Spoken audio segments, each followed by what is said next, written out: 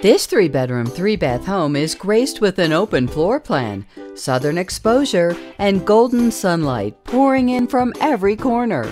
The kitchen features a tall brick pillar, a red brick hearth oven, a fireplace converted to a toasty wood stove, pendant lighting, granite counters, cherry cabinets, and stainless steel appliances.